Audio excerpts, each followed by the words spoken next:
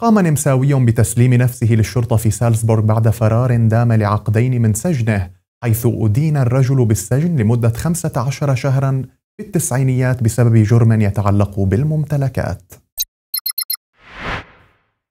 وكان الرجل قد أمضى فترة من حكمه في سجن ليوبون في شتايرمارك وفي يونيو من عام 2000 هرب بعد انتهاء إجازة من السجن وزعم الرجل أن لديه ضميرا حيا ولذلك بعد سنين من العمل في مجال المطاعم بألمانيا عاد وسلم نفسه. ومن المتوقع أن يواجه عواقب قانونية إضافة لاستكمال فترة عقوبته وسيتم تحديد مكان السجن بناء على قرار قضائي. كانت هذه نشرتنا مشاهدين لهذا اليوم. لمزيد من التفاصيل لا تنسوا تحميل تطبيق انفوجرات على هواتفكم. كنت معكم أنا قتيبة اللحام أمسية سعيدة وإلى اللقاء.